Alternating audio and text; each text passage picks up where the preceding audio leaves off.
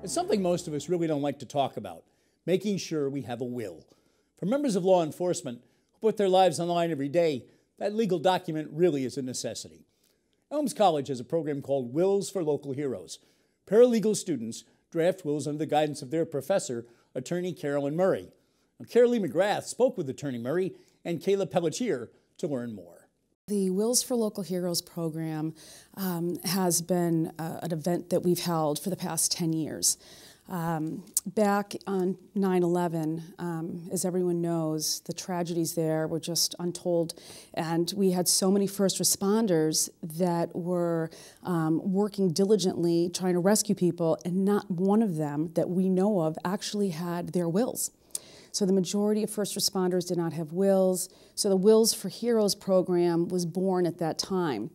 And then we thought back in 2007 that we would start something local for our own community to help our own first responders.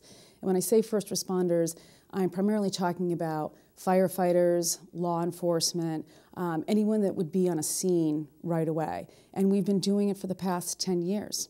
And just recently in December, you added state troopers to the program as well? We did. We decided to um, reach out to the Springfield State Troopers, see if they would like to participate in the program. I had a few contacts over there, and they were happy to, to help us. Okay, and so Kayla, what did you get out of um, assisting in this program? Like, what did you learn from it?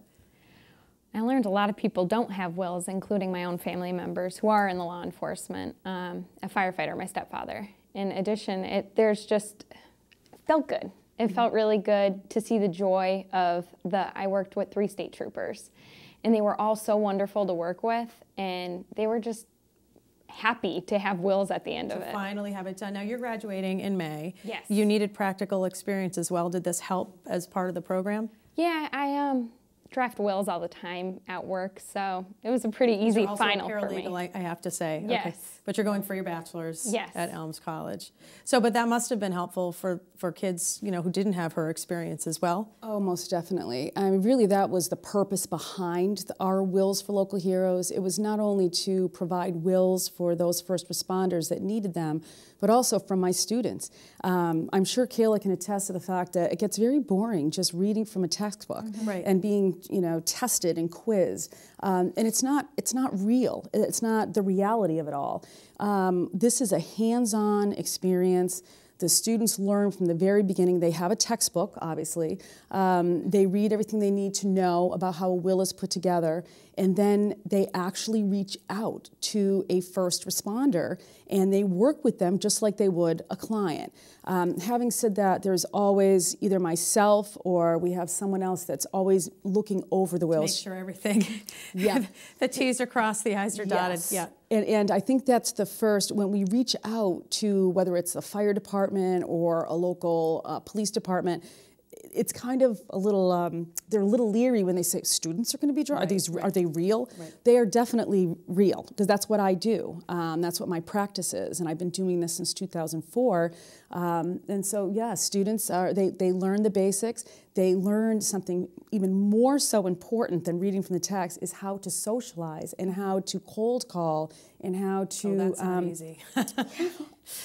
I think that's the most frightening for most students. I we spend an hour and 15 minutes, one class, just writing down a paragraph introducing, hello, my name is. Right. Um, and it's because we, we've got students from, from all different backgrounds. Um, some have never picked up a phone and actually called anyone before that they didn't know.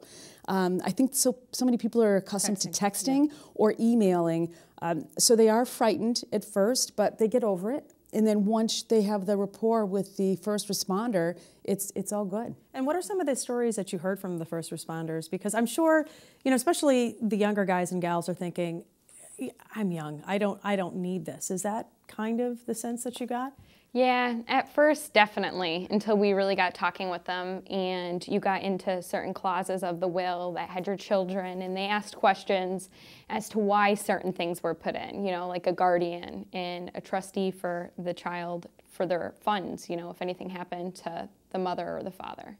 Right. And I think the, the biggest concern for parents would be not so much the funds, but who's taking those kids. God forbid both of you, um, you know, passed away. So even outside of being in law enforcement, this is a really important issue for parents as well? Oh, my, definitely, most definitely. But let's face it, it's not a topic that people just sit around and talk about. No. It's not something that comes up on a regular basis. Mm-hmm. It's usually some tragedy that's befallen a family, and then they reach out. Um, but we're trying to educate people that you really should have the basic estate planning documents together. It doesn't matter how old you are. Um, a lot of students will say, Well, I don't have an estate. Say, you don't have an estate? What's that backpack?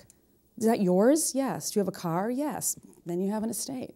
Okay, and I think people people definitely don't realize that. But you also had a, a personal story that makes this very important to you. Yes, I do. Um, my husband passed away 15 years ago at 35 years old.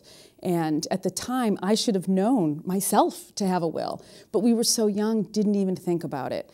Um, so tragedy befalls everyone.